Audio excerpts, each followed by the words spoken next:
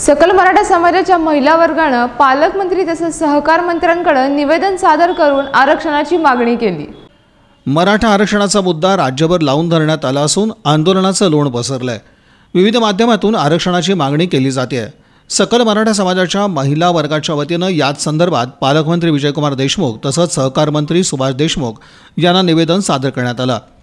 मराठा समाजाला ओबीसी संवर्गातील आरक्षण मिळावं तसंच प्रत्येक जिल्ह्याच्या ठिकाणी मराठा समाजातील विद्यार्थ्यांसाठी वसतिगृहाची सुविधा मिळावी अशी मागणी निवेदनाद्वारे करण्यात आली.